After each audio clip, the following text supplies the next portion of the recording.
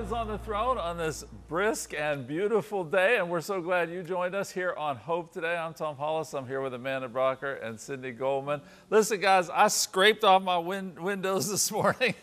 Uh, that's always a, a, not my favorite, uh, you know, thing that says that the winter's coming, but we're glad that you've joined us because, hey, seasons change and things change in our life, Sydney. They surely do. So if you are our Florida friends or Alabama friends, you're probably like, oh, we don't have to deal with frost, and praise God for that. But you know, if you have a garage, it's actually kind of nice too. But anyway, just like Tom says, you know, there is so much change. We're going through the change of the seasons. You know, none of us are immune from unexpected tragedy or loss. And when disruptions do interfere with our lives, what should be our response? Well, coming up on Hope Today, global entrepreneur and best-selling author Michelle McKinney Hammond is with us to talk about when shifts happen. She's going to reveal how divine discontentment can lead to pathways of change. You know, Amanda, none of us are immune from when turbulence and things happen in our lives, but it's always great to have a fresh perspective of what God says in the midst of it. That is so true, Sydney. And here in the Pittsburgh area, y'all, it's going to be 70 tomorrow, so just hang in there.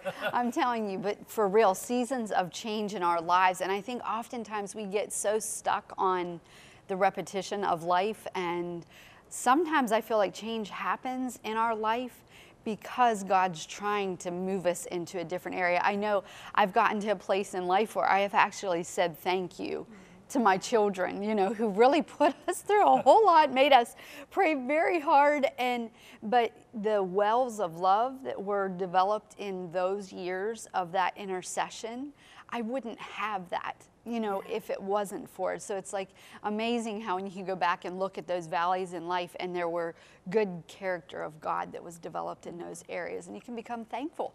Well, I found out about myself, and I was joking with Michelle before the show that I love my comfort zone. I love, I put pillows in my comfort zone. I put my feet up, you know, I got my big screen TV in my comfort zone. But God, He still moves us on and moves us into new places That's because right. that causes growth. Well, as you know, we've all been praying for Israel. I hope you've continued in prayer for Israel this entire time. Uh, you know, we there was an Israeli airstrike in Gaza overnight. Listen, man, wars is a horrible thing. It's nasty stuff, and, and we believe that Israel has the right to defend themselves, but we also, our hearts go out to, to innocent Palestinians as well that are suffering the consequences of the horrible things that Hamas did and the retribution from Israel we just need to continue in prayer, everybody. We need to continue That's in right. prayer for this situation. Yes. Tell you what, I'm going to ask you, Amanda, if you don't mind, if you would please pray and, and bring Israel before the Lord today. Yes. And we want to ask you to join us. You know, it's one thing for us to be here on set praying, but we want to mobilize the body of Christ because together we are a greater force than individually. So let's join in prayer. You at home, wherever you're watching from, join us.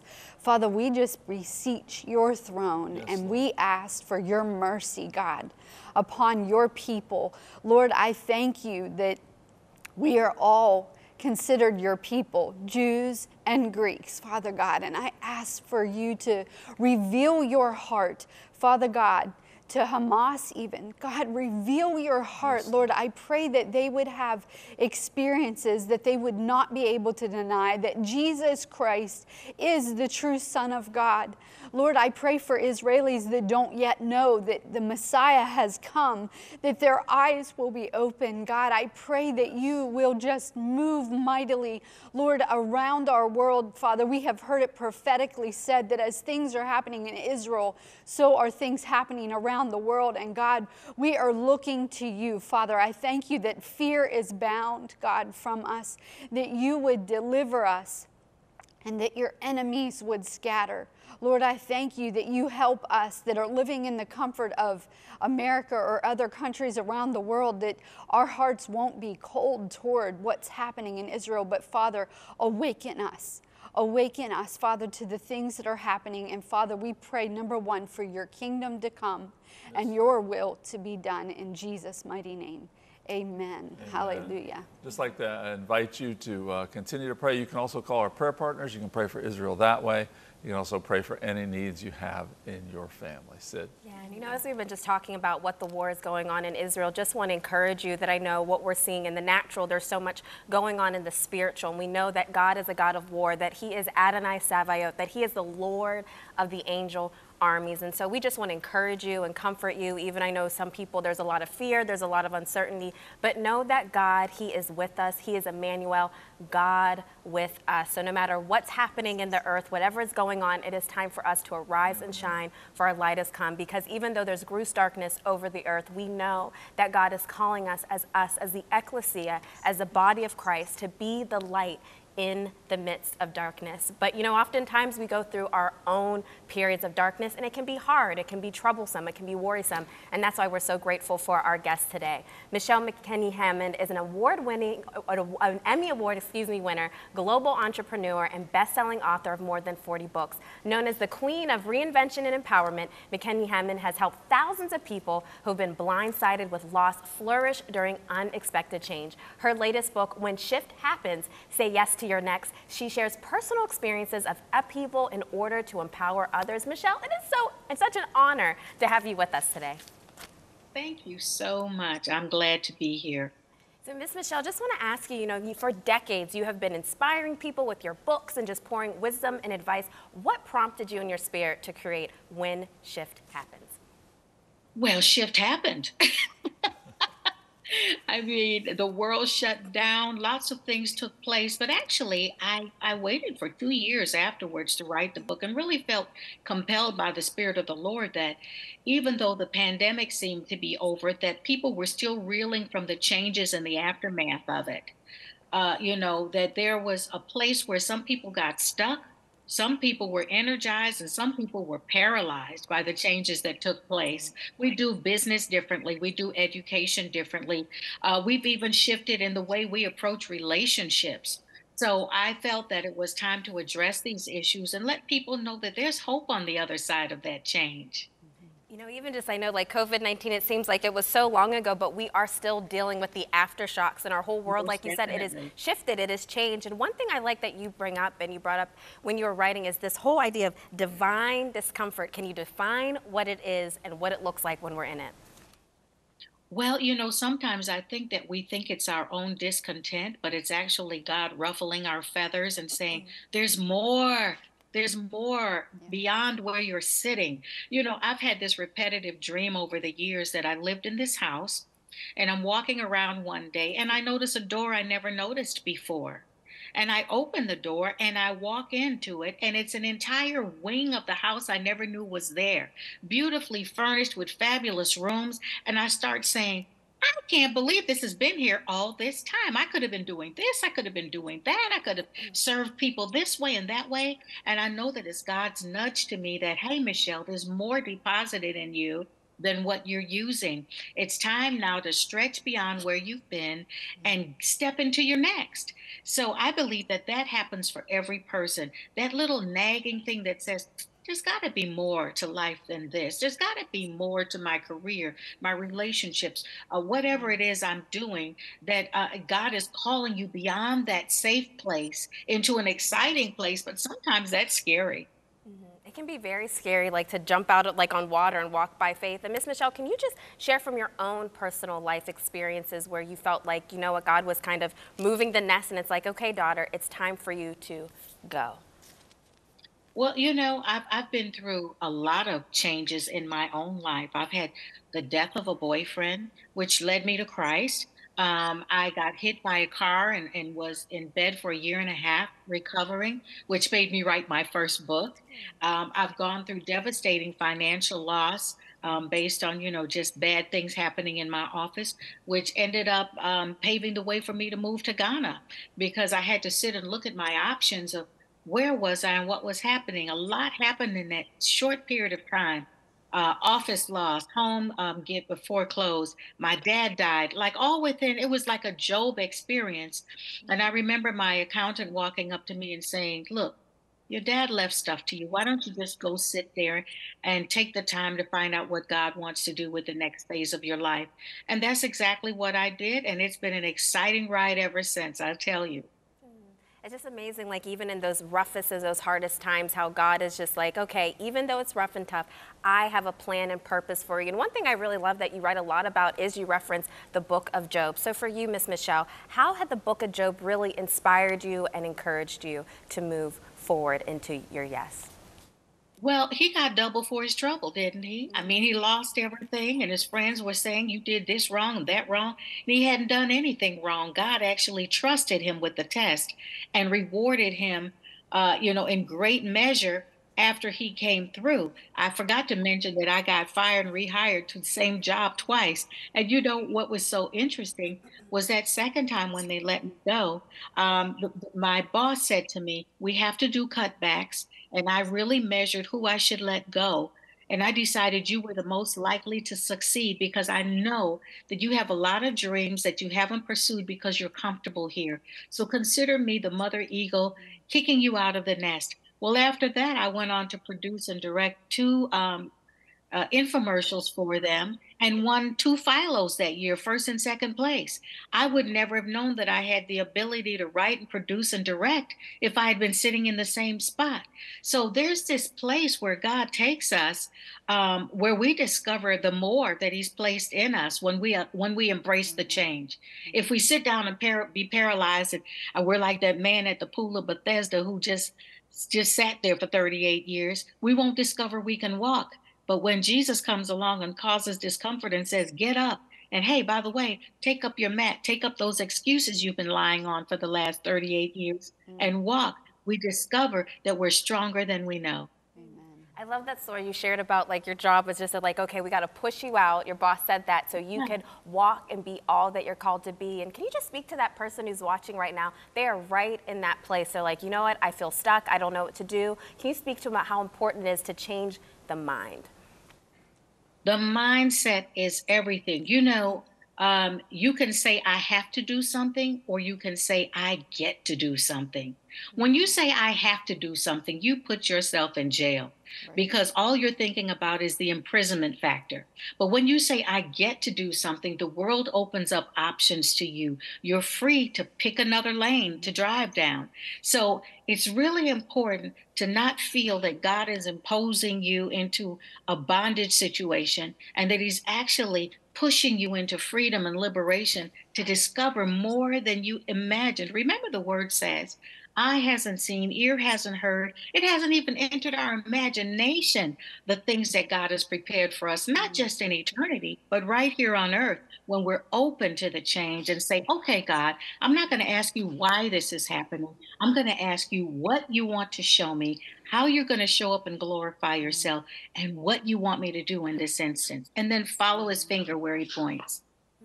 I love that. And you know, one thing in I, one of the quotes that you said that really stuck out to me is create consistency in your habits to break up the status quo in your life. I've heard a mm-hmm. pastor one time say, like, discipline determines your destiny. Can you speak into that for a moment? Because a lot of us, it's like we want things to change and shift, but I love how you're talking about the consistency aspect is important. Yes, you have to keep at it. I mean, it took years for Noah to build that ark, you know. Um, he could have said at any point, This doesn't look like it's working, and stopped, and he would have been caught in the flood.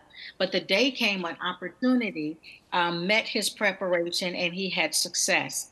And that's what we have to really know that we have to employ. Sometimes I think we get into a place and space where we over spiritualize the things we're going through and we don't take the actions that are necessary. Faith without works is dead. And prayer is where we check in with God to receive instructions on the way forward. So it's very important to employ those two things together to get the instruction and then remain consistent. You know, it's very important to not just know what God said, but what God is saying. There's a big mm-hmm. difference. God, what he said is the big picture. Abraham, you're going to be the father of many nations. But what was he saying? He was saying on a daily basis, move, go here, go there, go there. Okay, now it's time to, to pray for those people who can't have children. I mean, there were instructions along the way. And then he came back at that moment when it was time for that plan to be implemented to say, okay, this time next year, you're going to have a child. So there's what he said, and then there's what he is saying. So we've got to stay plugged in, mm-hmm. getting those daily instructions, and consistently following through you just hit something so powerful. There's what God said and what God is saying. So, how if that person right now is like, okay, I have, because I know a lot of times we receive these prophetic words that God said this, but listening to mm-hmm. those day to day, what He's saying, how do you cultivate that in your life? I think a lot of people, you know, they want that, but they don't know how to go about cultivating those moments. Well, that's that building of intimacy on a daily basis with God. You know, taking the time for devotions, taking the time to check in and say, What's on your heart, God? What's on your mind? You know, prayer is not just about giving Him a list of things to do for you, it's about finding out what's on His heart for you, um, what His directions are for you on a daily basis. And as you cultivate that daily, you'll His voice will become sharper and sharper in your spirit. You know, the word says you'll hear a voice behind you saying, This is the way, walk ye in it. So cultivate the interest but also cultivate taking the time to hear what God is saying. He's going to speak to you in different ways. He's going to speak to you through the word. You're going to be reading the word, and something's just going to leap off the page, and you're going to know that's for you. He's going to send people into your life to instruct you, and He's also going to allow circumstances at times to direct you. So you've got to be sensitive to all the ways that God speaks. Mm-hmm. Michelle, I kind of want to stay on this theme because sometimes people have gotten a vision of something, but it's, it seems like a far off, like a, a mm. light way out there somewhere, and they just don't seem like they're getting there. What do you, what do you say to that person that has this vision, and it's from God, and it's something they know mm. that God wants them to do, but they just don't seem like they're getting there? Well, they've got to trust the process of God. Nothing great happened overnight in the word. Let's face it. I mean, how many years was Joseph in Egypt as a slave in jail before he had that dream come true. Now, initially, when he had the dream, he thought it was about him and his brothers liking him, but it was a bigger dream. See, the visions and dreams we have are usually bigger than what we conceptualize them to be. And those things take a longer time because it's not just about you, it's about kingdom business and God's kingdom design and how it all fits into everything else that he's doing. And so you that's where the consistency that Sydney addressed comes in. You've got to stay at it and that is where our trust gets tried, isn't it?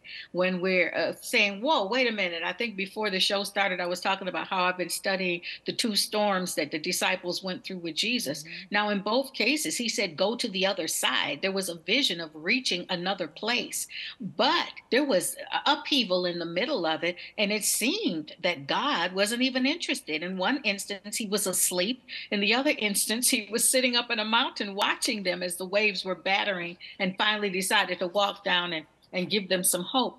But the bottom line is they got to the other side.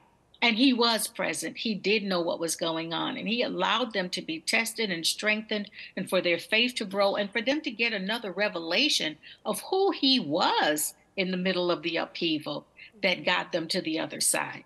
So you got to just keep pushing and you got to keep trusting and staying on your face and and getting those daily instructions. Amen. And when you hear nothing, know that there's still a lot going on beneath the surface. I talk about seasons in the book and and winter, you know, and it looks like nothing's going on in winter, but there's a whole lot going on in winter, and that becomes evident in spring when it seems like overnight flowers appear mm, That's so powerful. I think you're dropping so many wisdom nuggets, and I just love what we were talking about. You know, when Jesus is saying, like, cast your nets the other side or getting to the other side of the storm, that it's so important to keep our eyes centered and stayed on Jesus. And a lot of times, I think, you know, Miss Michelle, we will be like, oh my gosh, the enemy's doing it. And it's actually God being like, no, I am exactly. causing this storm. Keep your eyes on me. And I love this quote that you have in your book that really um, touched my spirit. It says, when life blindsides you with loss, you must renew your vision and decide to begin again. Review your options for starting over and choose your path. A lot of times, would you say that, you know, when God is shaking us, when He's shifting us, that it, there's a lot of loss that can happen in those winter seasons, but it's all mm-hmm. for His purpose and plan to get us where we're called to go? Most definitely. He's just clearing the path for something better. You know, um, hoarders, you can't get in the house, you can't bring anything new in, right? So you got to clean out the excess. I have a practice where every year I clean out my closet. Mm. And I always say, why don't the clothes go down? But I realize I made room for new ones. the way. I'm exactly the same way. I just did that today, so we're on the same page. I love that. yeah. So, the, so God is always making room for more. And we're clinging to the old because we're, we're really spiritual hoarders. You know, mm-hmm. we like things that we know. So we cling to the familiar, not knowing that, you know, on the title of the book, we, we deliberately did the if in the middle of the shift to italicize because there is a big if mm-hmm. in the middle of shift. There's that element of the unknown that's scary that causes us to cling to what we know. Um, but that's where we also lose out on new adventures and new opportunities that are even greater than the ones we've experienced. Michelle, just talking about that, you know, the if between the shift, I think, I feel like a lot of people are right there. It's scary, the unknown, trusting in God in ways you've never trusted Him before. Can you just take a moment and just to pray for that person that's watching that is literally like, here I am, and I don't know which way I'm gonna, you know, I'm gonna go. You Can take a moment and pray for them? Yes, Heavenly Father, I lift up those that are in the middle of uh, feeling anxious and fearful of their future. And just remind them this morning by your spirit that you hold their future in your hands. Yes. And as the message Bible says in Jeremiah 29 11, you know what you're doing. You've got it all planned out, and it's for good, not to abandon us, but to give us the future that we hope for. Let them rest in that promise from you this morning, because when we have nothing else to show physically, we do have your promise, and you are true to your word. You're not a man that you should lie. And so I ask, Father, that their hope would be renewed and revived as they choose to be still and know that you are God. In Jesus' name, amen. And if that's you, just be sure to call our prayer line at 888-665-4483. Miss Michelle, it was such an honor just to have this conversation. And I believe that you've sowed so many seeds of wisdom into people that they know it is time for them to shift. Excuse me. Her book is called When Shift Happens, Say Yes to Your Next. Thank you so much for joining us today, Miss Michelle. Well, we are just so grateful that you have been with us, and we just pray that your spirit has been stirred and knowing that God has so much in store for you. And we come back, you always know we love to speak directly into your spirit and your heart, and Amanda has something very special she wants to share with you. We'll be right back.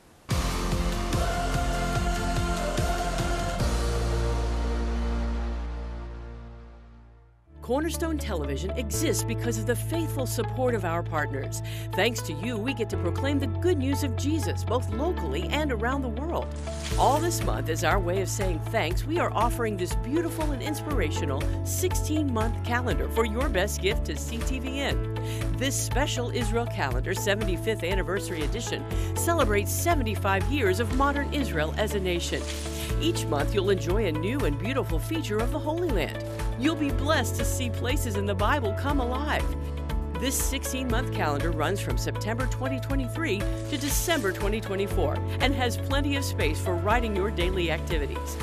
Request the special Israel Calendar 75th Anniversary Edition as our thank you gift when you give to CTVN today. To give, call 888-665-4483 or go to ctvn.org slash donate. Hope happens here. What a wonderful interview and just the con. I have so many nuggets I wrote down. I don't know if y'all had your paper and pen, but I was going. But you know, she said choosing to follow him daily is a big part, or said you said choosing the path was one of her quotes. You know, which way.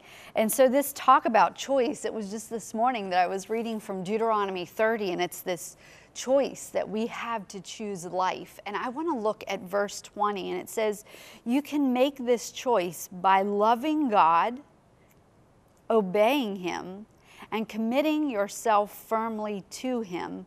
This is the key to your life. I just think that there is so much content in this interview that we did and in this scripture, but it is asking for you to choose. God gives us the option. And today we want you to know He is desiring for you to choose life. And what does it mean to choose life? Well, He said you can make this choice by loving God. Would you choose to love God today? You can make this choice by obeying Him when He speaks to you. Even in those if moments, it can be scary, but you're obedient. You're going to step out. You're going to talk to that person, or you might go across the street to that neighbor, or whatever that looks like that He's speaking to you but you are going to commit yourself firmly to Him. Salvation isn't a fleeting thing that just happens by chance, it is a choice that we choose to make to believe God to obey Him and to firmly commit to Him. And today, He would desire nothing more than for you to, to make that commitment. So if you would just ask the Lord, Father, come into my heart. Forgive me of my sins, Father. Forgive me of the times where I missed it. And God, make me new. Wash me clean with your word, Lord. And I thank you that I get to become a child of the living God. Lord, we thank you for this moment. And if God moved upon your heart and you spoke that with me, I encourage you to give us a call. Let our prayer partners pray with you, and we would love to get a tool in your hands that will help you grow in your relationship with God. This is a very serious commitment, Sydney, that the Lord desires of each one of us surely does. You know, one of the greatest things I, I just even want to go back to something you said about the key. That Jesus, right now, I just really believe He wants to unlock the key in your heart. And when you allow Him into your spirit, when you receive Him, not only as just your Savior, but you just allow Him to be Lord of your life and you just lay it all down, I'm telling you, your life will never be the same. Shift will happen in your life things will change, falls, the chains will break off of you. And that's what we desire. That's the greatest hope that we have is in Him and Him alone. He is the great I am. He is Emmanuel, God with us. And more than anything, we just want you to know that He loves you with an everlasting love and He paid the ultimate price that you and I could not pay so that we could have life, not just eternal life, but we can have an abundant life here on earth and experience the kingdom of God. So, will you shift today? and receive Jesus as your Lord and your Savior and choose to follow Him and lay your life down all for Him today. It is the ultimate shift. It is walking in newness of life, it says in the scriptures. Do you walk in that newness of life? It is, a, it is walking from one direction into another one, walking away from God to walking towards Him, walking, following after Him, being a Christ follower, and having your life change forever. It is the ultimate of leaving one, one path and taking another. It is Christ in you, the hope of glory. So I hope you prayed with, with Amanda and that you will continue to follow Christ today. Have a great one in Him. On tomorrow's Hope Today, have you ever found yourself searching for meaning and purpose but still feel unsatisfied? Author and Bible teacher Kelly Needham reveals how you can pursue a deeply meaningful life that won't leave you feeling stuck or disappointed. Don't miss tomorrow's Hope Today.